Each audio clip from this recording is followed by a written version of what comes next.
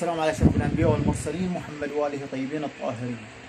أه لو في أب عنده أكثر من واحد يعني أه اثنين ثلاثة أربعة خمسة على جهاز واحد تقدر تخليه يستخدم حق منصة مدرستي جهاز واحد بس شنو اللي مطلوب عليك؟ مطلوب عليك ماوس وكيبورد وشاشة. وكل واحد سماعة طيب. هذا بس. الكيس واحد فقط لا غير.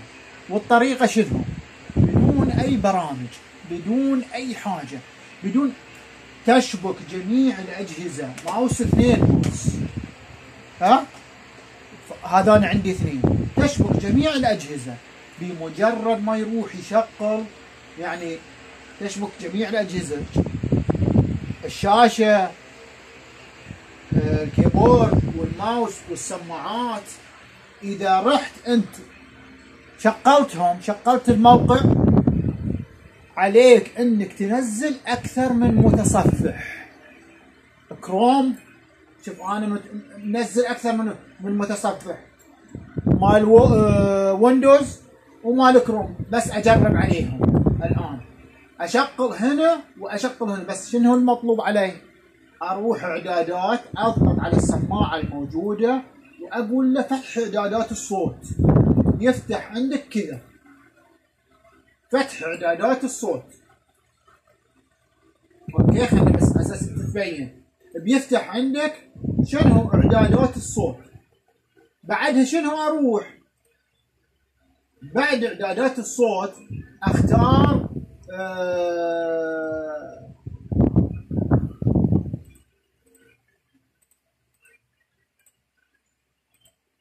إعدادات الصوت.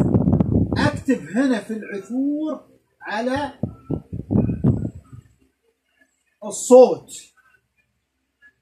خلاص إعدادات الصوت. يفتح عندي هذا.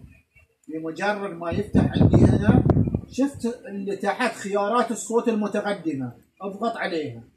يبين لك أي تطبيق وهو شغال عليه فرضا هذه السماعة أنا مخليها تشتغل على مال مايكروسوفت.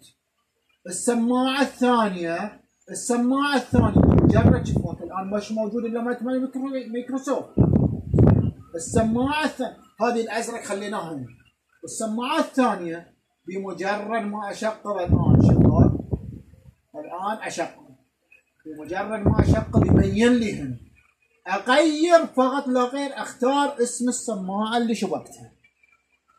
إذا اخترت اسم السماعه اللي شبكتها أنا اختار هذه. الآن هذا الصوت اللي في الميكروسوفت اللي شغال يسمعه هذا السماعه اللي فيه مال مايكروسوفت يسمع السماعه الثانية. مال كروم يسمع الخبر هذا. ونفس الشيء حق إعدادات إخراج الصوت. شوف هنا واحد إعدادات إخراج الصوت واحد إعدادات إدخال الصوت. تحدد أي متصفح يتصفح عليه. وهذا طبعا شبكية اللي هو الشاشات. في كذا مقطع في الفيديو في اليوتيوب يشرح لك كيفية شبكية الشاشات. سهلة جدا جدا. بمجرد ما يفتح هذا بمجرد ما يفتح هذا أخذ أنت هذه الصفحة وارسلها إلى المق... إلى الشاشة الثانية.